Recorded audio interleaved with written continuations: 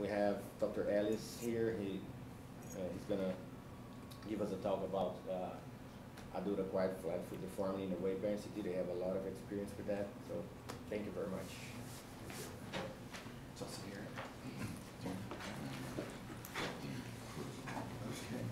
So I'd like to thank everybody for having me. It's a great group of um, people and people I respect very much, so. um, How do I advance the slide? No, I have no, no conflicts of interest. Okay, so, um, as Caesar said, so we've done a, a lot of research, uh, in adult acquired flat foot deformity. So it's a very particular, um, diagnosis or pathology that we're using weight-bearing CAT scan to look at, but I wanna kind of show everybody what we've learned, um, over the years with, uh, you know, researching this topic. Um, specifically, um, we've kind of gone through and looked at uh, how we can use the- weight-bearing CAT scan to understand the nature and location of pain in people with, ha- that have flat foot. Um, we try to better understand what the deformity is and where it's coming from, um, and, and potentially understand the causes of flat foot. Uh, and then, you know, obviously in a group like this, we can collaborate in the future and see what the roles of the weight-bearing CAT scan might be. And I'm very interested, obviously, in flat foot deformity, although I know clearly there's so much that we can do with it. So, um, there's a little bit of background. This is the machine that I've used for all my research, but for the people from Kirby, we don't use this anymore. We have a pedCAT machine. Um, it's just that when we first started, like ten years ago, this is what we had, and, and the technology obviously is so much better, and the um, pedCAT leans itself so much better to doing this kind of research. But this is the machine that we had on the upper side. This is, oh yeah, this. Okay, so, um, uh, this is, it's a little platform that you stand on, a little weight bearing surface, It's almost dangerous in a way, cause you're up on the, off the floor, uh, and this beam would rotate around, uh, and basically, uh, and we argue with the radiologist whether it's really a CAT scan or you call it a tomogram, I don't know if you guys have had similar conversations, but, um, uh, we, we called it in a lot of our papers a three D multiplanar weight bearing scan, but at the end of the day, it's a weight bearing CAT scan, the, the way I look at it. Um, our, our work, like I said, mostly today has been flat foot. Uh, the, this machine's called a Philips Aliva. It's, uh, like I said, we, the pedCAT, now that we use, I found is easier, it's got better image quality, and, and the biggest superiority is the, um, the processing capability. So the first project that we, um, used, the standing CT, was to try to understand in a group of flat foot patients that had hind foot pain, where was that pain coming from? Because you have patients early on with adult flat foot deformity that have that medial pain because the posterior tib tendon, and then later it goes on to be lateral. And there's, you know, theoretically multiple reasons why this, but we want to know specifically, could we use this tool to look at it? So we took um, uh, two cohorts of patients that were going to undergo uh, flat foot reconstruction for flexible stage two. Uh, a group that had pain, uh, lateral hind foot pain, and a group that didn't, and took um, these weight bearing CAT scans of them and really tried to understand, can we identify where their pain's coming from? Um, so we took a whole number of measurements. Caesar's measure, mentioned one measurement is difficult. So um, there are another measurements that we found are reliable, those that weren't, but we wanted to assess the reliability in the study of those, and then compare those two groups that I mentioned. And I'm not going to obviously go through this, but most parameters were reliable. Um, there was a few that weren't. They tended to be distances that were less reliable than angles in general, and they tended to be parameters that you might have to use two different slices to see as opposed to one. Um, and basically, what we found is the most common cause of pain is, uh, here's a group of flat foot patients with pain, and here's without. This is two ways to look at it. It's arthrosis at the subtalar joint, but what it really is at the angle of Gissane, where that talus, if you saw lateral, where the talus comes down against the calcaneus, it's, it's pinching and erosion essentially right at the subtalar joint. So this is by far the most common cause. Um, and then there was, I'm going to show you a picture in a second, uh, but there's calcaneofibular impingement also in a number of patients. So, and sometimes it tended to be even both. So again, here's a clean uh, angle of and here's one that's been eroded. You see all the cyst formation. And some you just can't see on x-ray. And so to this point, I mean, here's a patient up here that you look at x-ray, you get some sense maybe there's impingement, they had lateral pain, but really the CAT scan opened your eyes to see what, what's really going on. Um, and one other comment too, when you see really, my experience, when you see really severe impingement, cystic formation, and I worry that doing a flat foot reconstruction like a heel slide lateral column may not work because they could still have pain there. So if it's really bad, I will start thinking about a subtalar fusion as opposed to just doing a reconstruction. Like I said, we also saw calcaneofibular impingement. This is a perfect example. So on the left, a patient with no pain. On the right, a patient with pain. Well, John, Jonathan Deland's here, so he, this is a lot of our work together, by the way, and you could chime in, uh, Jonathan as well. Um, so, uh, this is a patient that we found, uh, where the calcaneus is uh, bu- uh, bumping up against the, the fibula, so that's the, the source of their pain in this case. Um, and you, and this is the same, by the way, same patient on plain x-rays on the left as it is their CAT scan on the right, you just can't appreciate that. So the patient comes with lateral pain and this really, the, the standing CAT scan really opened your eyes. So what we found is that, uh, in conclusion, is that, that pain can be both from that impingement at the angle of Gissane, and to- in the most cases, or the most commonly, and then also, uh, it could be, uh, calcaneal fibular impingement, or, or both. And that this tool is extremely helpful, uh, for us to determine where that pain was coming from. So then we, um, took it a little step further, we wanted to use the standing CAT scan to better understand where the deformity is coming from in the flat foot deformity, so we, a lot of people call this peri-talar subluxation, so a lot is happening around the talus, but what exactly is happening and to what degree, we wanted to use this, uh, standing CAT scan to better, uh, understand it, so, um, we took another group of, uh, people, uh, flat foot patients with, uh, they were, again, flexible, going to undergo reconstruction, or flat foot reconstruction, and controls, and I don't know about everybody else, but the challenge we've had is getting controls.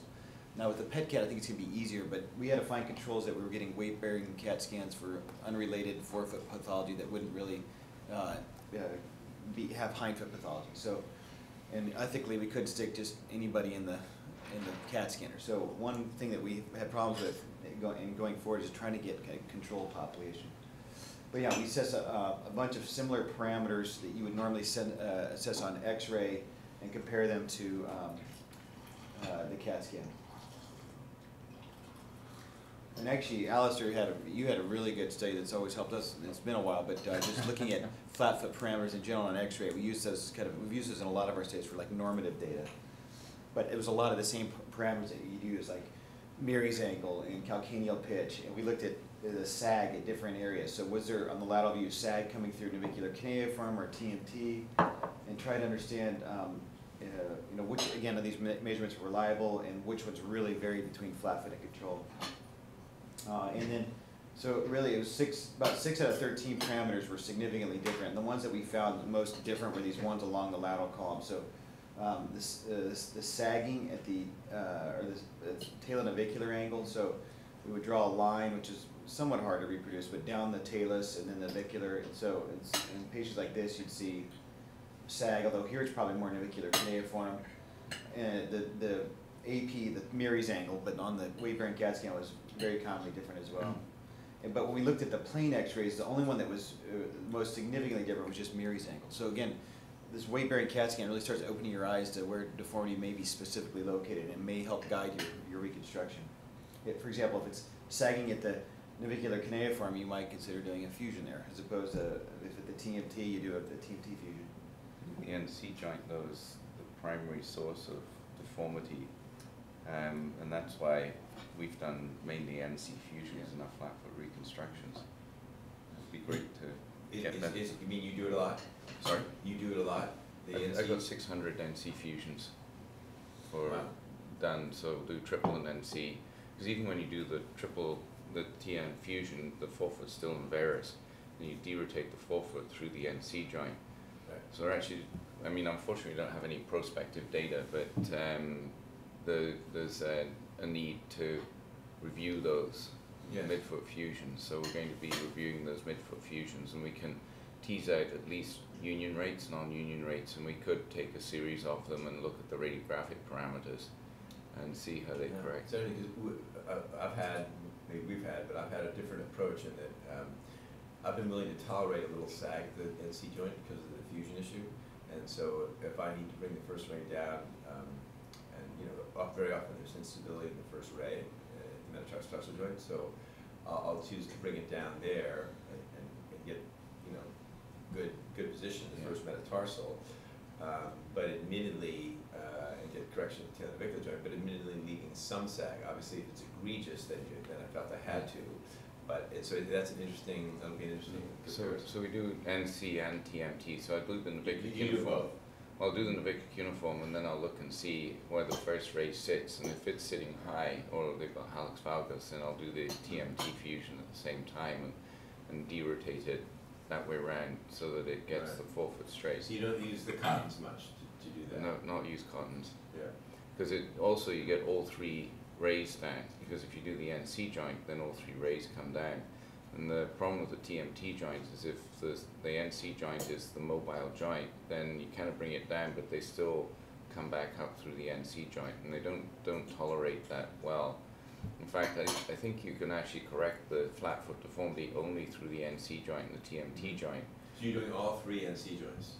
Yeah, absolutely. In the same absolutely. patient. Yeah. All, all dorsal side, so two screws in each joint.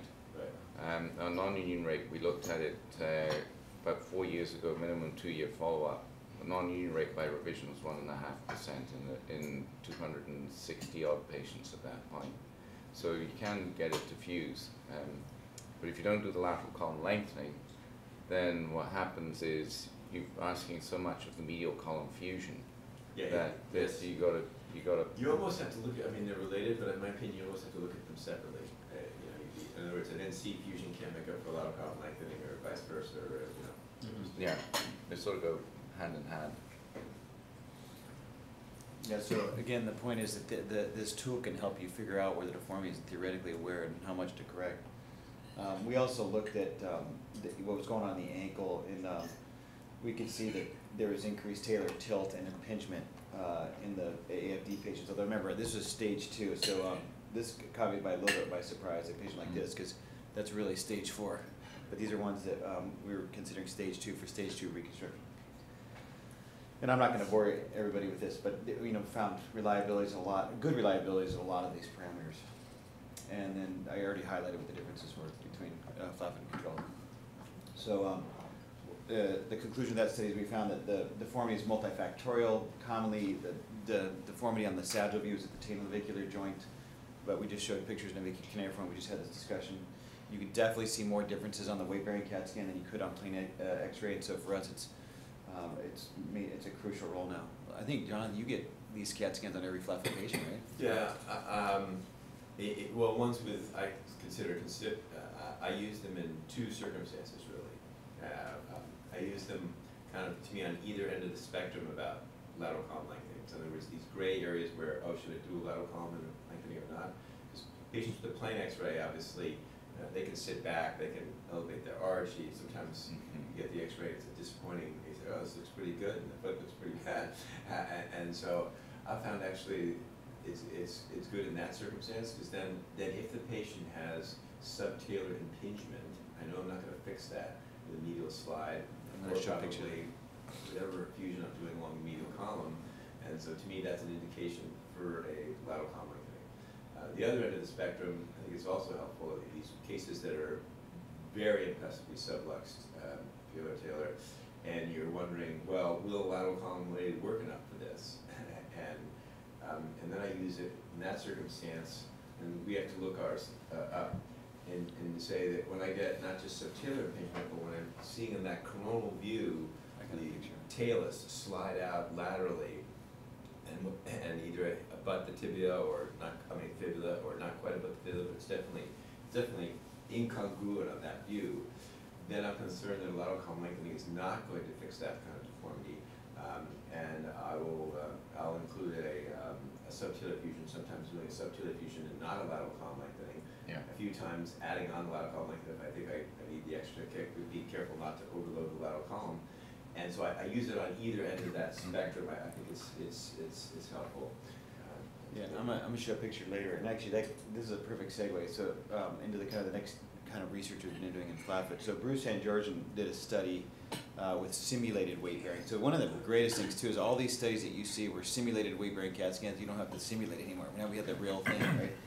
But, um, he, he's interested in looking at this angle that John is talking about, um, in patients with flat foot deformity. I'm gonna show you what I'm talking about in a second. So we wanted to, uh, understand whether that, this, the subtalar joint position differed in a, a cohort of patients with flat foot versus control. And this didn't come out with very good resolution, but what I'm talking about is if you're looking at, this is a kind of a schematic of a hind foot. Here's the ankle joint, and here's the subtalar joint.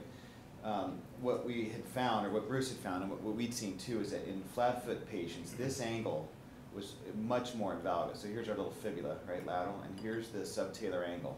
Now, it depends where you are in terms of, uh, the, the heel to toe, um, uh, area, but, um, you know, this angle, we were finding, and Bruce found in studies, it was more valgus in flat foot patients, so we wanted to see if that was actually true with the real weight bearing scan. So we took these angles that we uh, called inferior talus to the horizontal, so the line drawn under the inferior surface of the talus compared to the floor, and an angle from the superior talus to the inferior talus. And we just compared them basically throughout, you know, different areas along the posterior facet. Uh, we're just showing one example here to see if they were different in flat foot versus control. With the idea being is, you're, if, as long as there's not arthritis, this, these angles should not change over your lifetime, right? I mean, that's, it's uh, the nature of the morphology of the talus.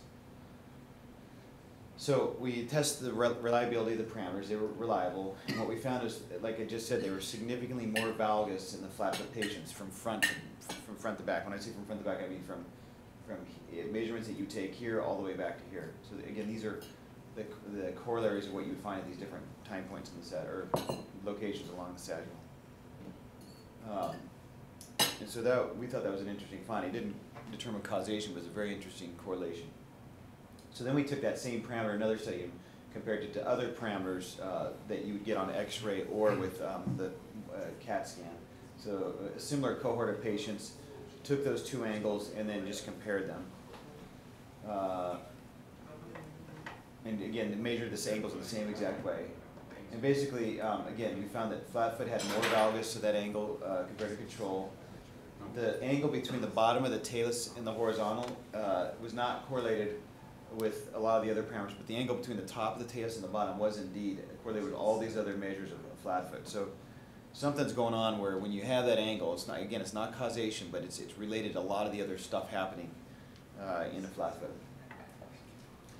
And our statisticians helped us, but Meary's angle actually could explain forty-eight percent of the variation in that angle from the top of the talus to the bottom. So there was a high correlation between that, that hindfoot valgus and uh, Meary's angle, which, like, again, Alistair, I think in your work, you, just with plain x-rays, showed that was the most consistently different between flat foot and control. Which, which one was? The- Meary's angle, Yeah. if you just Yeah. take a Right, plain x-rays. So, so the question is, so this angle, in other words, you're concentrating on the angle within the talus, right? Uh, the top, top of the talus. To the bottom of the talus. Uh, I don't see, why couldn't that be a part of the causation of why some flat feet go on to collapse and others not? Well, I think it is, but I, you just can't say from the numbers that we have, but go ahead. Yeah. You, you can probably take it a step back from there, mm-hmm. because those patients are also ligamentously lax. So as they're growing, they may well actually have plastic remodeling of their talus in their growing years, because they lack the, the soft tissue structure to maintain their arch. Which then comes to the other question, you know, the, the chiropractors did the study on flat feet and back pain and showed a correlation between flat feet and back pain. But that, that may not be the cause, the common cause, it may well be ligamentous laxity causing back pain and Right. flat feet, not one causing So as they're growing, it's, it's not necessarily a cause, it Yeah. could be the, the soft tissue. Um, but once they're an adult, um. It's and- fixed. and Then, Yeah. then the deformity is fixed. Unless And- there's And they a- also have their soft tissue, they probably have both. Yeah. Uh, and, and away you go. Yeah, Yeah, except, um, we, well, we excluded in theory, you know, childhood causes, so coalition, and this is Yeah. all adult, but you're right, the, the adult is probably in the making for a It- while. It would be interesting, so maybe this is a future study, to actually, you know, there's this population who we do fix, obviously, this younger population that we call Let's see. congenital flat feet. Uh, that don't have posterior tib uh, symptoms, and the movement may not be so bad, obviously, maybe, but i- i- is, and, and, and what are, what, what are, what are they like? In What are their these, these thirteen-year-olds are coming with a horrible flat foot, what is their, what is their angle like? Uh, Mhm. It'd be interesting to know. yeah. So it, this is a, a final study, um, and I won't go into great detail, but we were interested, because in theory, that this, the morphology of the talus shouldn't change, right? In theory, you could find significant differences just doing plain CAT scan of that angle, right? Because we're looking at the top of the talus compared to the bottom, and even on a non-weight bearing static CAT scan, uh, that shouldn't be any different. So, we struggled to find a comparison group that we could you know, have irradiated or had been irradiated with CAT scan, but what we found was, um, we looked at a group of the same kind of flat foot patients undergoing reconstruction to a group of Lisfranc, patients, the idea, those all had CAT scan before surgery, and that was a pathology that affected their midfoot, not their hindfoot. So theoretically, the morphology of the talus wasn't changed. We ended up getting x-rays on them when they were finally healed, just to prove that they didn't have a flat foot, but they didn't have a history of a flat foot. Uh, we had, uh, uh, pre-op, um, x-rays and, and standing, or weight-bearing CAT scans on the flat foot patients. And then a lot of Jonathan's patients, he had CAT scans just to prove healing, uh, post-surgically, so we could actually use even standard CAT, and he used standard CAT scans for that, but, um, non-weight bearing, so we had, had those groups. Looked at the same angles, basically. Um, you know, here's some, uh, just for example, a post-op angle and somebody who had a heel slide. Um, I'm not gonna go into great deal, detail on that, but, um, what we found is the, the, the flat foot group was a flat foot and the stand, the standard, the, uh, controls were controls, I mean, when we took their standard radiographic parameters and compared it to uh, Alistair's normative values, they built, they both fell within the, the correct group. Um, but we noticed that the, the angle again from the top of the TIS to the bottom was greater, uh, and the, the weight bearing, the pre-op standing CAT scans, even compared to the CAT scan, the CT scans of that same group post-operatively when Jonathan was looking for healing. So that, so it, it was a little bit interesting, because I said in theory that shouldn't change, although my conclusion was the weight bearing, um, CAT scan just revealed a larger amount of valgus. And then there really was not a great correlation between the weight bearing imaging and standing CAT scan. Uh, even though there, there was some, for example, um, they, the patients with the standard CAT scan and the flat foot were still a little bit more valgus than our control group, but they didn't reach the same degree as the weight bearing scan, so.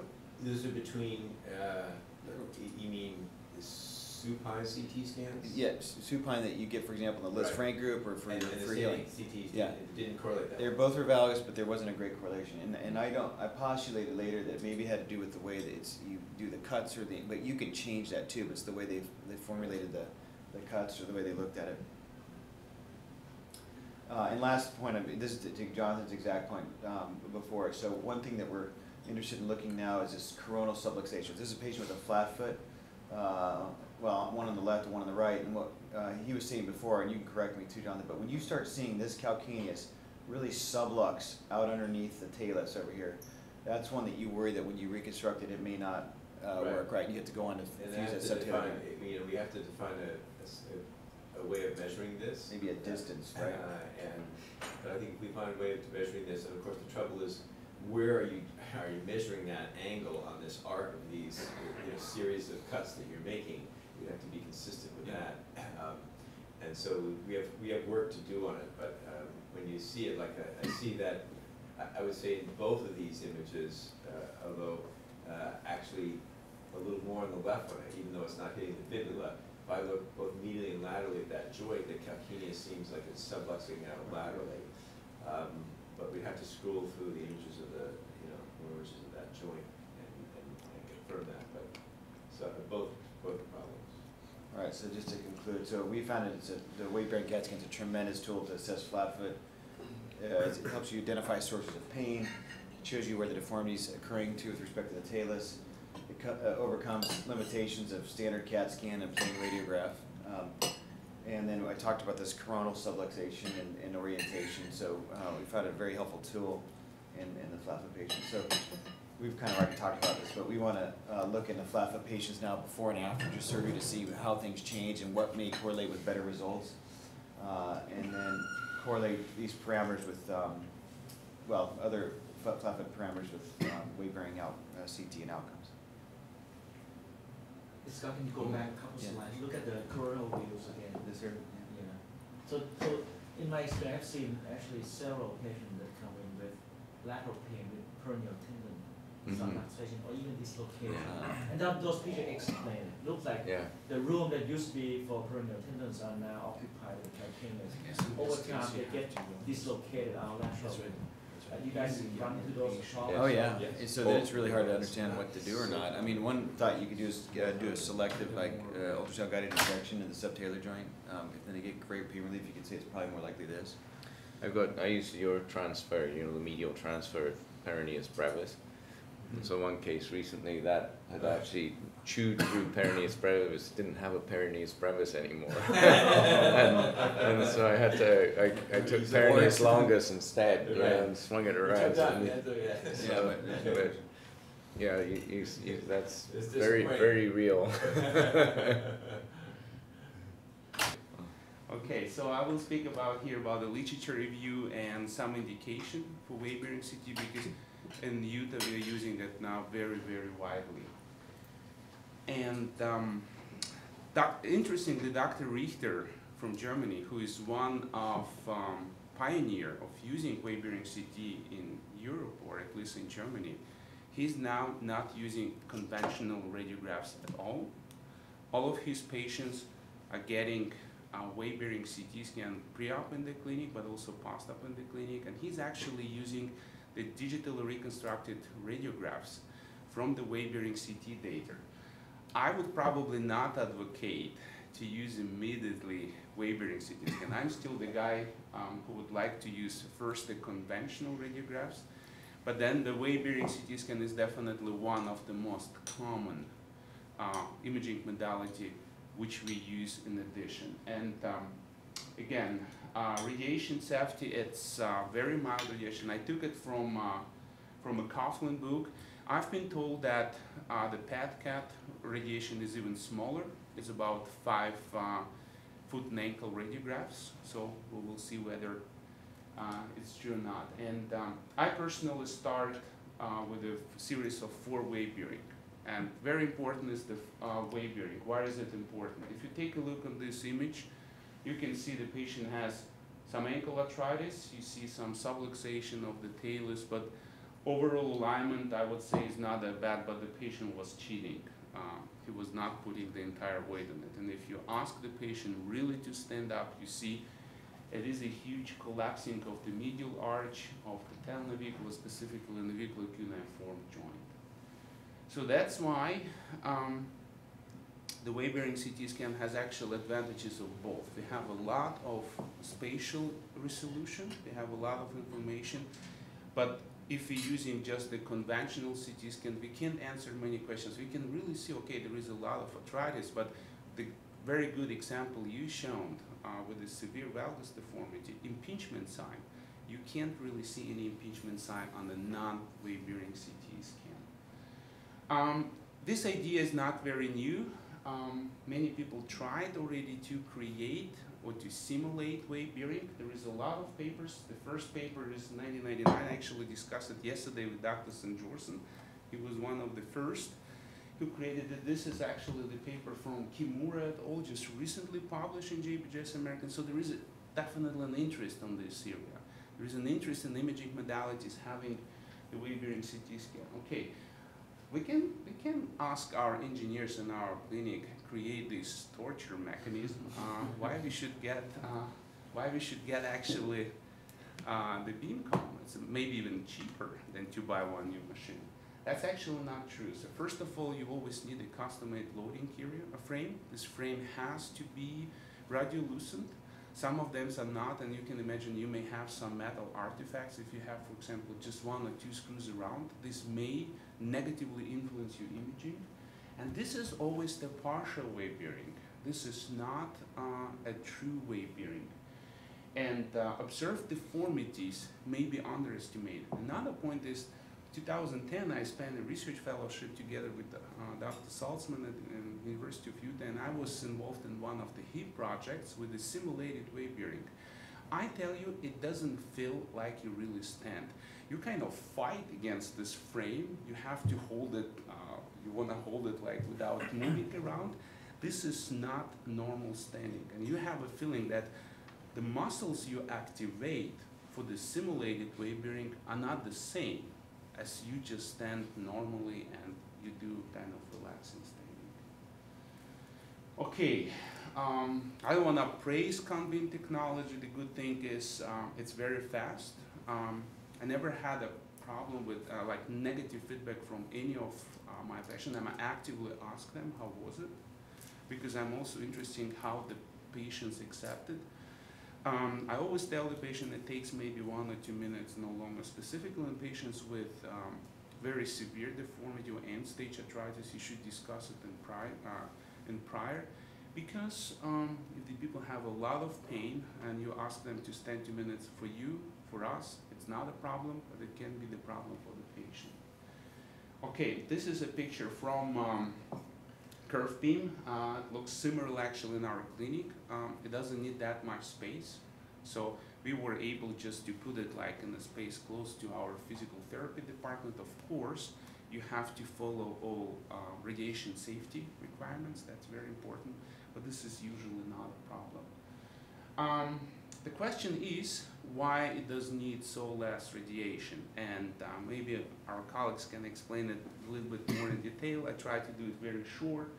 Um, it is a very large area detector on one side, so it has a very high sensitivity, and it is actually a pyramid-shaped X-ray beam. This is a cone technology, and if somebody is really interested, I would really recommend um, to. I'm sorry.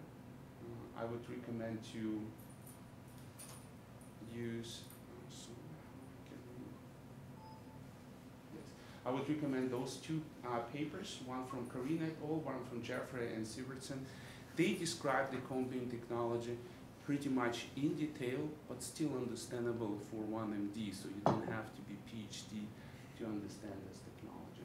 Another point, this is the image reconstructions, so it's not just how to acquisite the pictures, it's also how to work them after they are done, so then you can really save the radiation.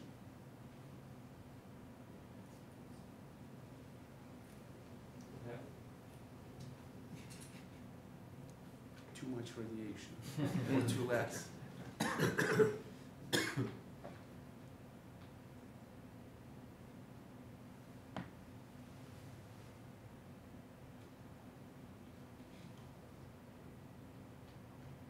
Okay, uh, you can f- uh, move on to.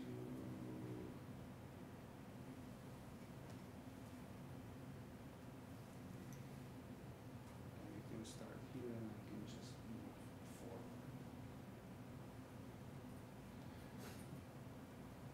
Okay, um, the first thing we are very interested in this uh, in this kind of imaging, and as we started using this, okay, you see you have a great imaging. You think that you can answer more questions uh, with this type of imaging, but we were interested in okay, how other people are using this technology, and actually.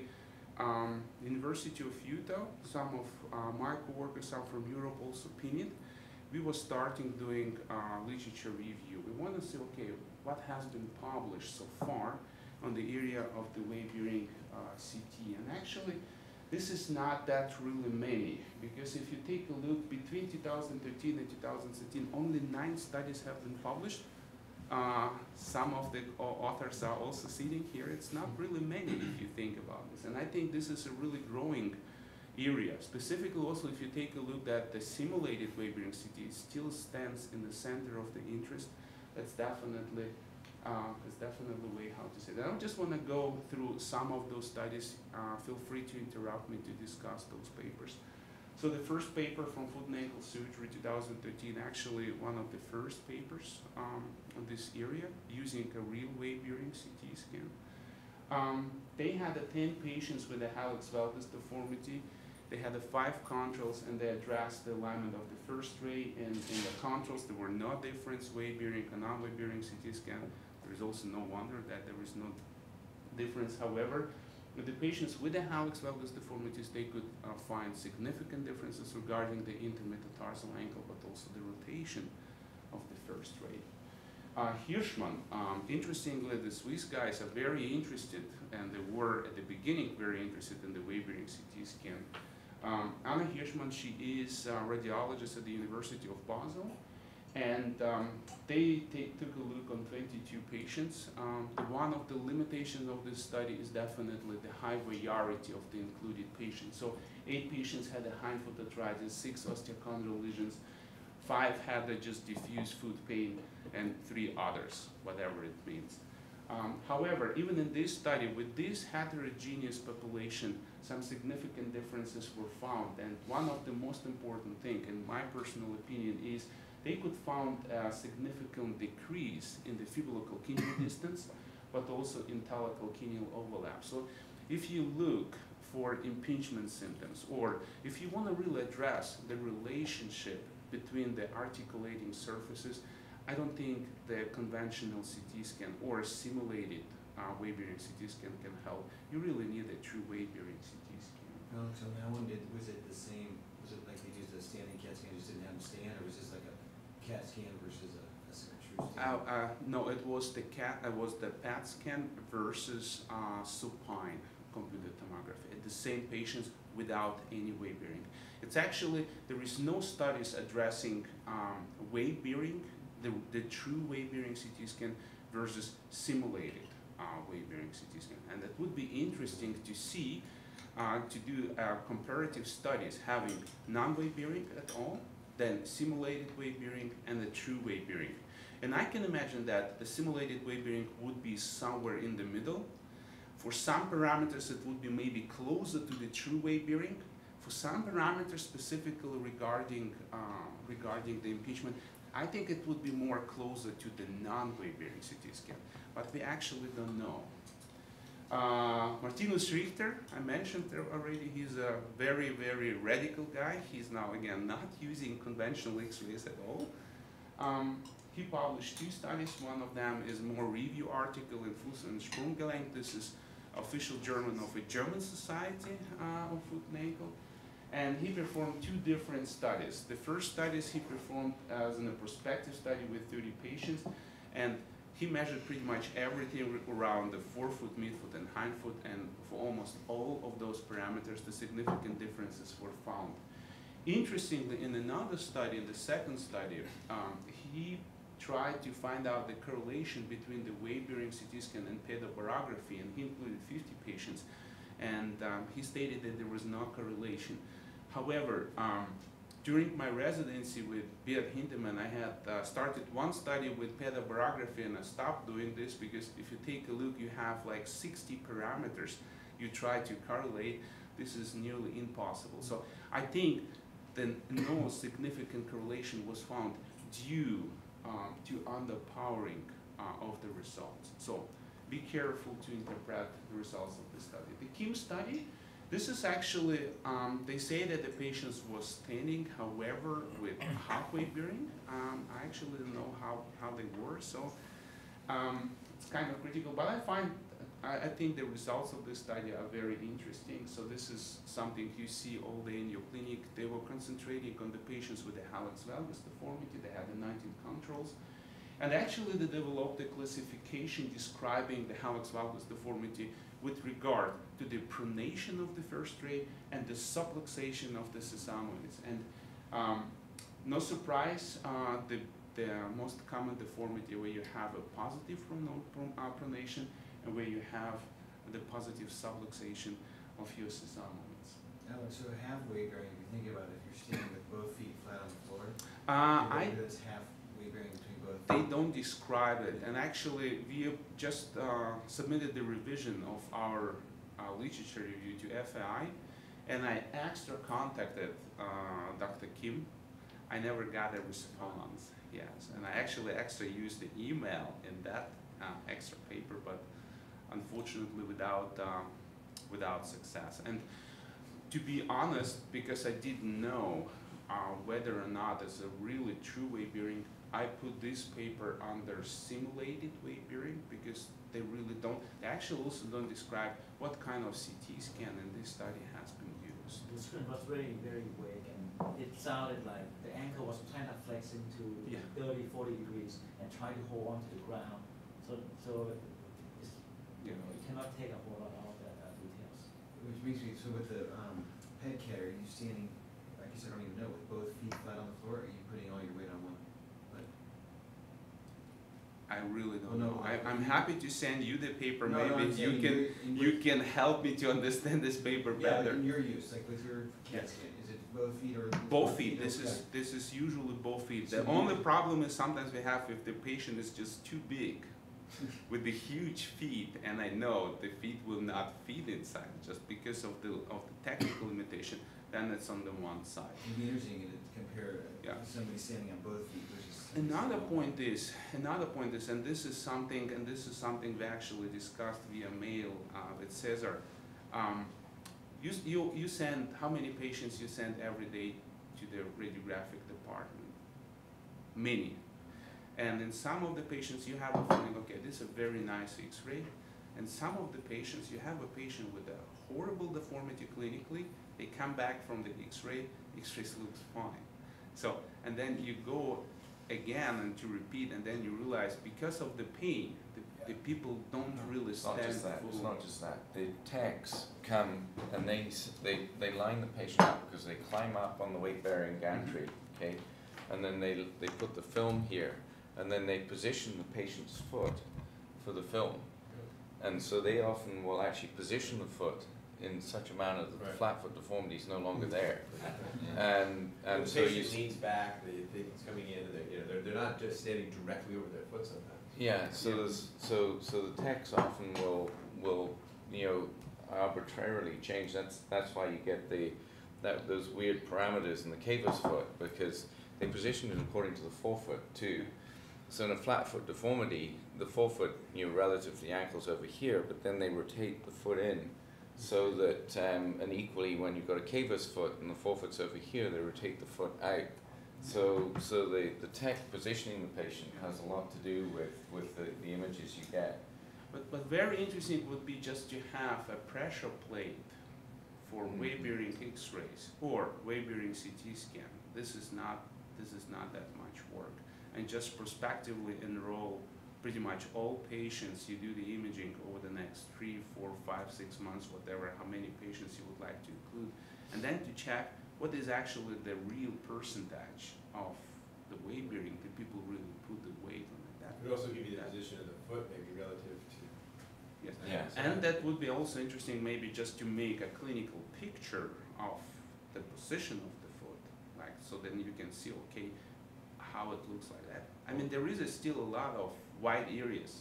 Yeah, well, the beauty of this is that nobody's having to position their feet, you know, you put them in the scanner, they stand, and nobody's like sort of lining their feet up, or hopefully they're not, so that, you know, you can correct the rotation based on, on, on the image you get, not according to, you know, a reference, like the. Our chairman always talks to technicians, he says, we don't wanna get the perfect X-rays, we wanna get the real X-ray. Yeah. So, That's the point. Okay, Burssens, Arne Burssens, a um, young resident from, uh, young resident from, uh, from Belgium.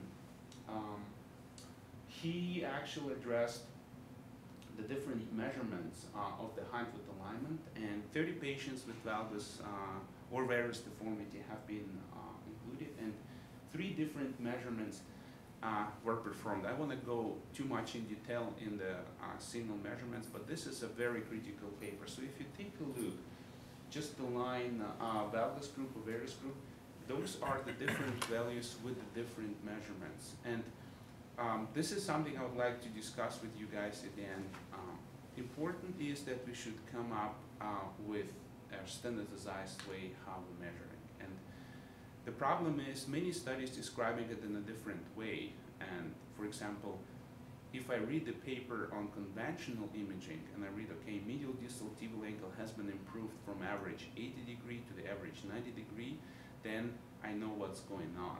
Uh, if I read a paper with a weight bearing CT scan on the abstracts and they say the angle has been improved from 70 to 95 or something actually don't know what's going on in this paper. I don't know actually how good are my results or how bad are my results in my clinic. And I think this is important that sooner or later we should come up with guidelines, at least the guidelines, um, describing the standard measurements of forefoot, midfoot, and hindfoot. But again, those are, you can see. You mean the those measurements on a standing CT scan? All Yeah. measurements were done on the standing CT scan. on one of the quarters. So, uh, So and you it's did, how we measure them on a standing CT scan? Yes, yes. Um, Cody et al., um, 2016, 45 patients with a stage 2 flat foot deformity, 17 controls. Um, subtalar joint assessment has been performed by measuring um, of two angles between the inferior facet of the talus and horizontal and angle between the inferior and superior facets of the talus and uh, the study shows that the patient with flat foot deformity have more innate valgus in talar anatomy and valgus alignment of the subtalar joint. And um, I think this shows that to measure the subtalar joint is really difficult. because this is another studies from uh, Krähenbühl. He is a resident from Dr. Hintermann. He will come now to Utah for one year as a research fellow, so I will have more time to discuss with him that paper. Um, he measured the subtalar orientation in 40 uh, patients with um, ankle arthritis actually and uh, 20 contrails and he measured the joint configuration in the anterior, in the middle, and the posterior coronal plane. And uh, this is actually a little bit tricky by measurement of subtalar joint. If you don't tell me where I have to measure, I can measure varus, I can measure no valgus, question. Whatever, whatever you would like to measure. And this is, um, this is even which we get from our um, radiology department because I love always to read it's sometimes like little anecdotes, uh, descriptions of the imaging. Then they say, okay, uh, on the weight-bearing CT scan, the severe valgus alignment of the subtalar joint and the patients present with a cavo deformity. But then this is the questions, okay, then I go back and try to discuss with them at which point it has been measured. Specifically like subtalar joint, in the normal patients, it has a high priority, it's due to the complex anatomy. I think that's why it's really important What do to you come mean, at up which with point, a where in the foot? Uh, no, at the which point of the subtalar joint, the which section, so. Yes, that's what, which, which part are you? Which part, exactly, do Okay. we go from the front of the sub, of the, and, and we only speak about the posterior facet, I'm not even speaking about the uh, intermedium or No, anterior it- It facet. question. And the question is, um, how to define it, should we go just for the middle, should we go just middle, and maybe measure like three parts of the posterior facet, maybe just five millimeters in front, seven millimeters, ten millimeters. I think the more data we collect, the more information we have, we can, uh, use as a Clearly, base to work with. Three measurements through, because we don't know which, one is important right now, right? We don't, we, we have to look. The way we broke it up was, uh, you saw my pictures, it was Mhm. zero to hundred percent, so you do twenty, if you count zero as the front and and interior, it's twenty-five percent uh, measurement, fifty percent, and seventy-five. But you're right, it changes. What we found in normal patients, it tends to stay varus and not go valgus, but in the valgus patients, it, Yeah. as you head back, it goes more and more valgus. Problematic, problematic is it with the patients with arthritis, not just the subtalar arthritis. Problematic is in the patients with the ankle arthritis because we know that some patients have the compen- compensa- compensatory mechanism of the subtalar joint, some do not. Um, Dr. Saltzman and me, we believe um, that it's due to the morphology of the subtalar joint. Um, we're now preparing uh, NIH grant to answer these questions with um, dual fluoroscopy model. But uh, we included six of those patients where we were thinking, okay, that's clear, they have a compensatory mechanism, and actually they don't show on dual fluoroscopy any compensatory uh, movement. So there is a lot of things which we need to address in more Yeah, detail. One thing that, that, Please. that can happen is that, um, a lot of patients with flat foot in particular would have, uh, abducted, abducted foot. And then the, when you have the patient stand on the gantry, the talus will be relatively more interrotated compared to the, uh, other patients. Because the foot is abducted, they try to line up the feet together, so the talus now more interrotated. And we know that the subtalar joint orients about forty degrees from the sagittal plane. So when you interrotate, the slope of the subtalar joint will be more in line with the uh, plane of the uh, uh, mediovagal plane. So we, we, we might see more acute angle at the two lines with the uh, interrotation of the So tail. you're- That's- you're that's my suspicion. So you're, s- so you're saying, when you position the patient, do you wanna internally rotate their foot more to, to see the joint, or just make sure it's, it's, it's internally rotated, like a, like in other words, let the foot be out in the valgus, but have the talus and ro- Lonnie, it was the talus, do you want the talus to be parallel to that, uh, to your, to your side plate, so to speak? Or do you want it internally rotated? I, I wanted, I want the patient to stand where they feel comfortable, but when we decide, because this CT scan, the three-dimensional data, box of data, you can actually rotate Yeah, the you can plane cut it. of interest.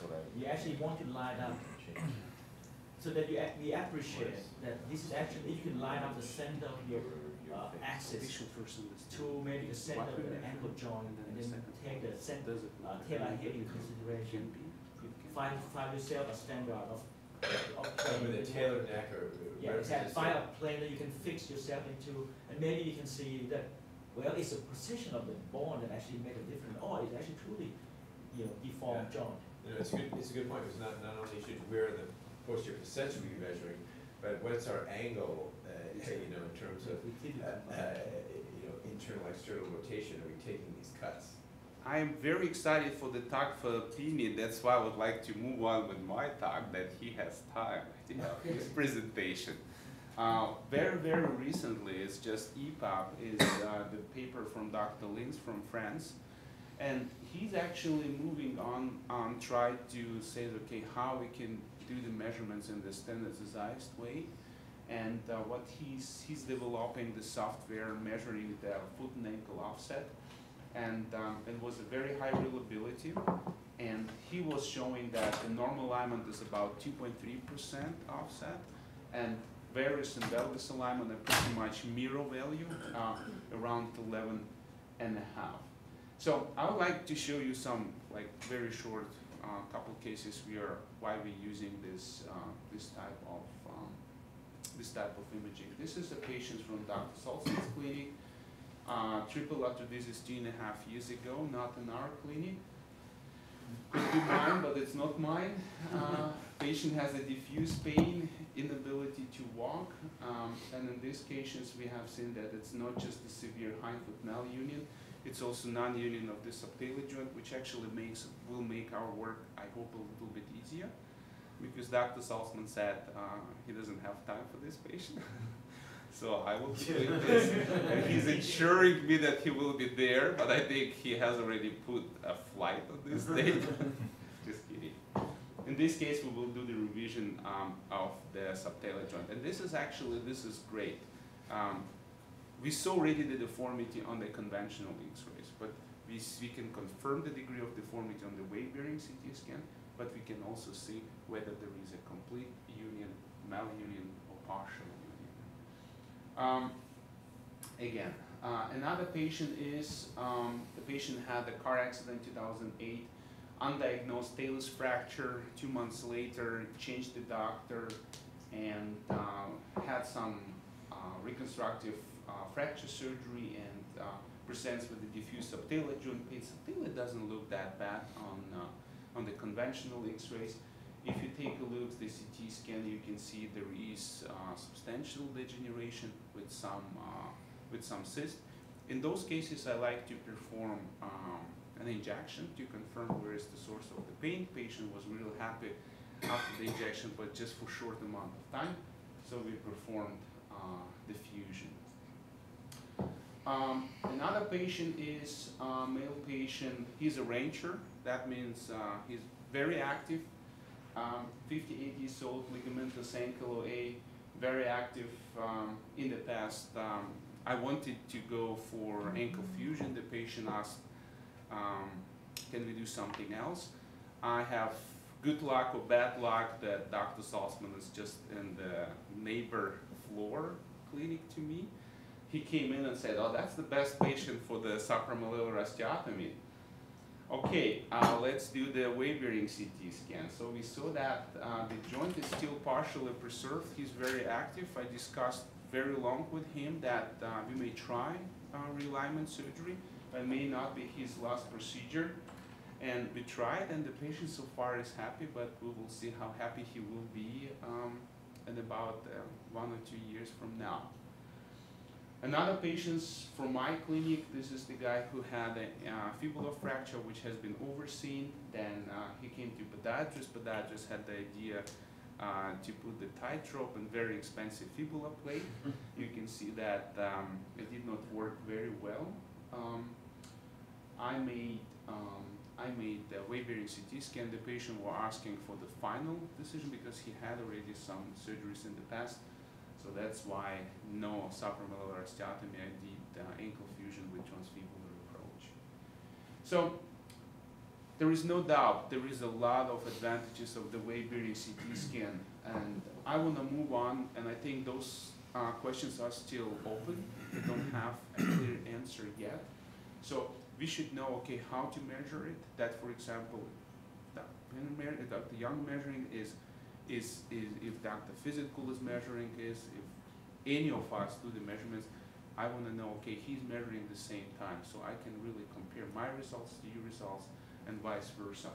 Um, interoperability, uh, um, I think all of us, we have some experience with, uh, X-rays measuring, but how is it about when, for example, a resident is measuring and uh, describing the patient, so we should know that.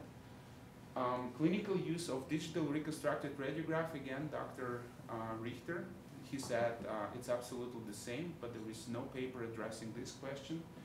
Influence of weight bearing on measurements. I'm right now doing a cadaver study uh, where I just take a cadaver and I put gradual weight bearing and I want to see, okay, how much influence this has. And I can imagine for some of the parameters it may not be an important uh, factor.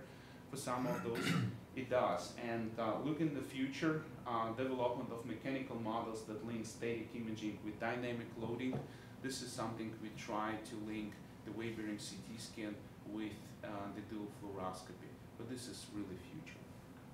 So of course I have to thank uh, all my colleagues, Dr. Saltzman, Dr. Beals, Dr. Nickisch. Uh, some of their patients I always use also their imaging and they can use also my imaging. And um, if you've never been in the Bryce Canyon, you should definitely stop by. It's a beautiful place. Thank you very much. Thank you. Questions? If not, I think we should ask Dr. Pizzi. Okay. Uh, I think it was very impressive foundation of the uh, knowledge and research we discussed today. Um, this is just, uh, to show just a piece of jigsaw, a small piece that, uh, you know, we, we can show why we use the waveguide CT scan to try to answer this and what we found out. So Dr. Barg is, uh, you know, on uh, the team and helping out uh, with this too. Um, so we we talked about rotation a little bit before, first metatarsal rotation. This is something that is up and coming as an issue because no one can have perfect bunion repair. You know, say people get stuck at 85, 90% success. There are certain percentage that don't do as well. Uh, there's some series, uh, mainly in podiatry, showing that there's some success in the rotational uh, correction of the first metatarsal. And this concept has been raised also by Dr. Saltzman at the previous uh, foot and ankle salmon meeting. So that actually sparked our interest that what happening in the first metatarsal rotation in hallux valgus deformity. So we want to look into this, and so there's some study that has been done before, so we're going to look into this together. Um, so uh, there's no conflict with this uh, study. I don't want to bore you guys with this, but you guys know about the pathology, the problem, why we have hallux valgus deformity, why, uh, what kind of anatomy uh, we are running into. Pretty much in brief, um, you know, caps, middle capsule is a big problem. It has some attenuation. Proximal phalanx start to move laterally. Deformity start to pro progress into valgus uh, and pronation of the great toe. Uh, head of the metatarsal is the structure that translate, not the sesamoid. The metatarsal head move medially, sesamoid stay the same. Tissue start to contract more and more. So, uh, previous studies have used CT scan before, and Dr. Barg has talked about, but generally they were on only semi-weight bearing. Uh, so there's very few studies talking about any of this area, most of us are in the uh, mainstream of uh, uh, authors of those studies. So rotational component can be a problem, difficult to assess on X-rays. Surgery, if you want to go to address this, may need to take into account the deformities that we haven't seen. This, we, we see the AP X-rays, we see lateral X-rays, we don't see a whole lot of rotational deformity easily. And this is why we want to look into this. We look into the group of patients of 85 patients uh, that actually we did pedCAT uh, CurveBeam uh, on uh, for the last two years. Three groups that we include the patient in. Patient with hallux valgus, patient with pes planus, patient with Kale-Veras deformity, and 26 control group. 26 control group were mainly for those minor problems like bone spurs at the Achilles, uh, bone spur at the calcaneus. Um, so the inclusion was in the adult group, and every one of them have pedCAT imaging. So I actually use a lot of PET CAT in um, most of my patients that require bony realignment because I think bony realignment you never know you're gonna run into arthritis in different areas. You never know you're gonna run into uh, deformity or instability we didn't know about. So I uh, include uh, uh, quite a good number of patients. We exclude those with previous surgeries, those with uh, inflammatory or clubfoot or pediatric patients. You want to look into the first metatarsal pronation correlation with hallux valgus ankle. We want to look at sesamoid subluxation uh, and hallux valgus ankle, and also other things, for example, pronation with other parameters, including tripod index, near angles, calcaneal pitch. We know that those are the key uh, measurement that we uh, have um, uh, stressed already. So the, this is a method that Kim uh, described, although the, the CT scan method was not well described, the measurement method was very well described. So that uh, term the alpha angle using the weight bearing surface of the foot and then bisect the top uh, of the head, uh, bisect the plantar aspect of the head, and then make a line and then create an, an alpha angle. So we use OsiriX so that we can uh, measure them. Uh, we used two uh, observer for measuring this uh, study. We also look into the subluxation of the sesamoid uh, grading uh, as, according to this reference, 0, 1, 2, and 3, using CT scan as well. So, um, so the you know I want to go into the method a little bit because this is a group that has interest in uh, doing uh, research and details. So I come to Kim, uh, we identify the longitudinal bisection of third metatarsal first. Actually, this this is a, the line that allow us to find the two sesamoids in the perpendicular plane. You go off this that that third metatarsal axis, you can actually get go to the mid axis of the two sesamoids. You can actually measure them more uh, reliably. So with that, we create a frontal plane right over the plane of the sesamoids and they create an alpha angle. It's a picture of how we did it find the axis of the third, uh, and then uh, find a plane, coronal plane in this wheel. Then we bisect the top half, bisect the uh, bottom half, and create an alpha angle. Also, we do other measurements. We do Meary's angle, calcaneal pitch. Uh, we do tripod index. Index is a uh, method that we uh, use uh, since maybe 10 years ago. We put a weight bearing surface uh, we want to identify the weight bearing surface of the foot using tripod concept by identifying the lateral border of the forefoot, middle border of the forefoot, center of the heel. We put a marker around the heel so we get a tripod out and see the center of the uh, talar head to correlate with the uh, uh, weight bearing tripod of the foot. So we found numbers that actually indicate uh, very reliable uh, indication for flat foot and uh, Kilra's uh, deformities as well. So the result that we found, 20, uh, 39 males, 46 females, 91 feet total. Uh, and hallux of course, a little more in the females, uh, in the 47 also, BMI 32, pretty average for Iowa. Uh, pronation of the first metatarsal was different between all cohorts. So it's it's clear that there's something there. It, they're not the same. Control group has pronation of uh, 7 degrees, valgus more, has planus more at the same level. cavovarus actually flip the other way. So it's a supination of the first metatarsal in cavovarus uh, group of patients. And we can confirm sesamoid subluxation, you know, similar to other study, we show that there's some correlation of the subluxation with the deformity, with the severity of valgus. Uh, so now it starts to become more interesting because actually metatarsal rotates not only with valgus, also rotate with other problems as well. Um, so correlation with the with other things, Meary angles, uh, tripod index, calculating the pitch and alpha angle. Meary angles has very good correlation with the pronation we're talking about pronation now, we are linking pronation to the kind of flat foot, which has probably the highest correlation right now. Uh, tripod index, which also approaching Meary's ankle. Calcaneal pitch, all those are markers for flat foot or deformity in the foot arch. Valgus ankle alone correlated very poorly with the, not poorly, but very poorly, uh, with the measure uh, alpha angle. So rotation alone, if you look at hallux valgus patients, it doesn't correlate very much at all. So this is what we found, and limitation is a retrospective study.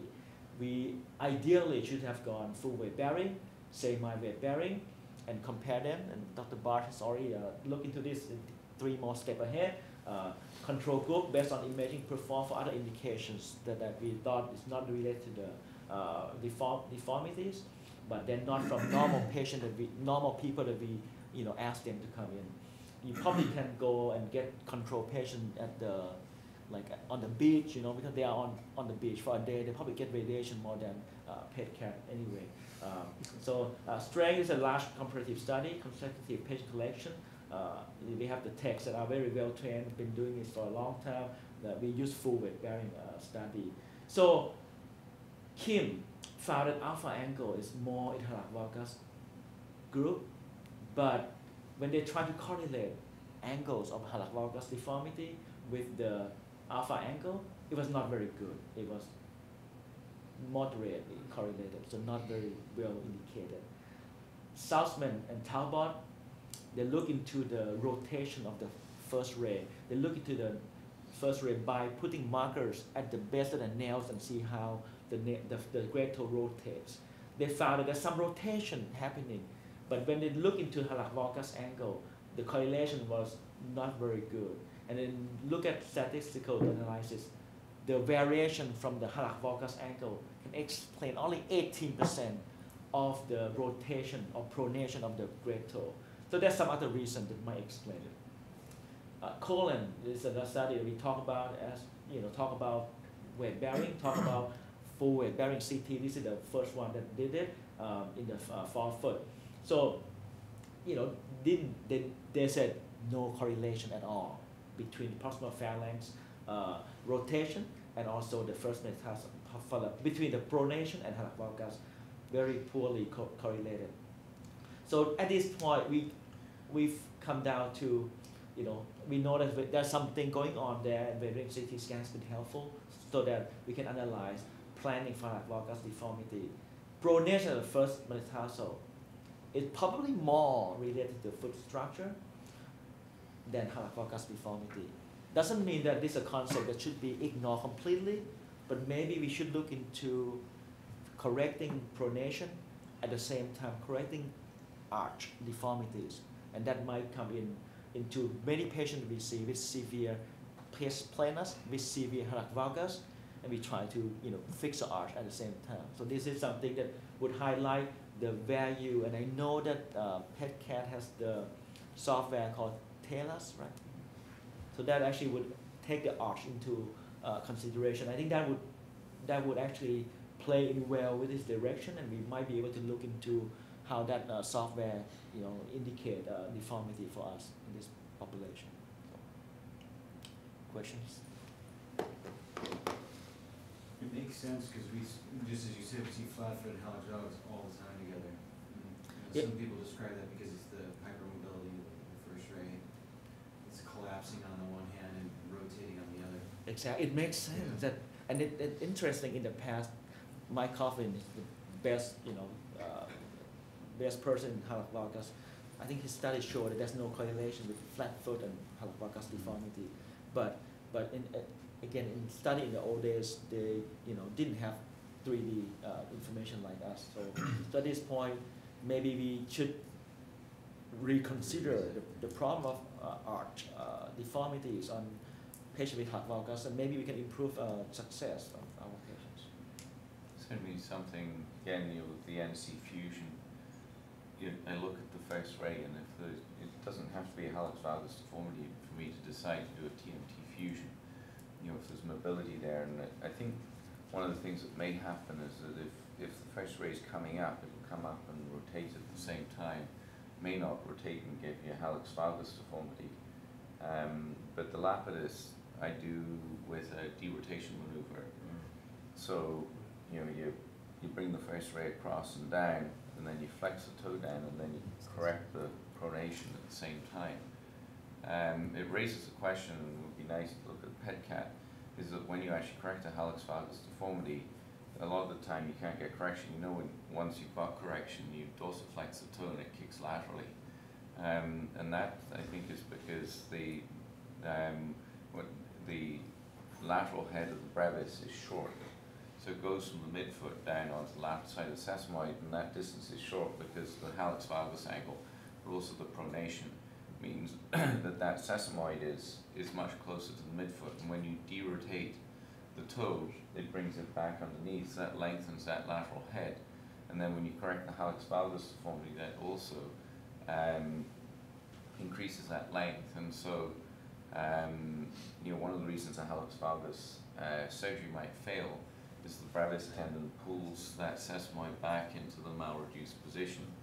So one of the things that I do is do intermuscular lengthening of the brevis tendon proximal to the sesamoid. So, you know, understanding the anatomy of the uh, hallux valgus deformity is really critical and and it's a three-dimensional thing. I mean, these deformities have always been there. We just haven't been able to measure them. And so when we say it's complex and it doesn't correlate and all the rest of it, that's because what we were using on plain X-ray wasn't reflecting what's actually going on. So, you know, I mean, these, this is great stuff. You know, like showing that the first metatarsals rotated and flat foot deformity is, you know, is kind of a critical observation. That's it. Yeah, I, I think it's, it's, it's just strange that there is no correlation with the outflow. It sounds strange that you don't find a correlation. Maybe if you go back to your data and you, if you stage the rotation, like, let's say, from zero to five, five to ten, uh, and you try to find a correlation with each of the stages of pronation, because maybe, let's say, after five degrees of rotation, the, the, there's then balance of the soft, the soft tissue, and then the will, like the, the angle will increase anyways. So even if the pronation uh, increases, uh, the threshold for the for the deviation is already gone. Yeah, I got so, your point. So if you, so you're talking about, it might not be linear in terms of relationship between Yes. the two uh, variables. And if you categorize them into certain uh, zone, they might be linear. Uh, the problem is that the number is already stretchy. we are uh, 20 each in terms of uh, control group. Um, so if we divide them up, it would be less powerful. Yeah, because maybe you can find that until Unless we let's say, collaborate more with Yeah. the team. So. maybe find like until eight degrees, uh, it correlates a lot. But after eight degrees, the the hallux, the valgus angle will go uh, up quickly, and then there's no more correlation because it's already gone. Uh, so. That's, that's possible too. Yeah. So that was, those are three very excellent presentations, and you're all doing some groundbreaking research. And You're going to be the leaders in defining how weight-bearing CT is going to be profession. We're excited to see what you work on next. So, um, before I start, I just want to say that any sort of automatic measurement tool is always going to be just a tool, and it's never going to be a replacement for the surgeon. So at uh, the major conferences, RSNA, which is the largest radiology conference that happens every year, and ECR, which is the European component, the, the predominant message is that uh, artificial intelligence is here and it's here to stay and it's going to revolutionize how we uh, look at imaging. So one of my favorite examples is this one on the left, a computer-aided detection software using deep learning actually performs an initial analysis of chest x-rays and with uh, more than 80% sensitivity and specificity is able to classify whether those x-rays are likely to have an abnormal or abnormality or not. And so it prioritizes what the radiologist should read first. So it's very interesting, very exciting. Um, same with mammography and uh, brain scans, but artificial intelligence can be used for more than just uh, abnormality detection. It can also be used to aid the surgeons in actually making the measurements that they're making every day. So this study um, was a automated method to measure Cobb angles in scoliosis patients, and they actually found that the automated method seemed to have better uh, results than the manual methods described in the literature. So similarly, we're planning to come up with automated measurements to do many of those angle measurements that you commonly do. So if you don't mind playing video number one. So this is a visual representation of what we are working on that our software will be able to do. So this part you won't have to do. The results will be presented to you and you can focus on treating your patient, doing the part that's more important. So your basic intermetatarsal angle. And then if you don't mind playing video number two. This is a visual representation of how uh, we're working on software to make those automatic hind foot measurement angles. So taking it just one step further. We have the ability with 3D data sets to do this all automatically. So once the parameters are defined, exactly how that should be measured, um, it's quite easy to actually program that. So going back to the presentation. But again, doing these automatic uh, X-ray angle measurements on 3D data sets is, it's like, uh, it's like using a, one of, a very high-end camera to take a very low-quality photo. We have three-dimensional data, so why not make three-dimensional measurements rather than two-dimensional measurements? So cone beam CT has been available in the oral maxillofacial specialty for more than a decade. It's just now being introduced to orthopedics. So oral maxillofacial is a little bit more advanced than we are in terms of applications, but you can look to that specialty to see how we can expect orthopedics to evolve. So uh, this is a traditional cephalometric uh, scan. Um, what we can do with landmarking on 3D images is actually landmark specific parts of the anatomy and make better biomechanical measurements. So um, this is what they do now with uh, cephalometric. They do an actual 3D landmarks measurement, and they're they found that they are um, more reliable and more accurate compared to physical measurements. So you are all uh, somewhat aware of TALAS, which is the method that Dr. Francois Lintz has come up with. Um, an early study presented by Dr. Welk um, at a meeting in Europe uh, earlier this year, uh, in which three measurements were compared, uh, the radiographic hindfoot moment arm, the radiographic hindfoot alignment angle, and TALAS. Um, and TALAS uh, is based on sort of the tripod pyramid concept of the foot instead of just using uh, traditional hindfoot angle measurements. They found that all three measurement techniques were reliable, but TALAS had near perfect intra-observer reliability. So some of you might have experimented with the beta version of TALAS.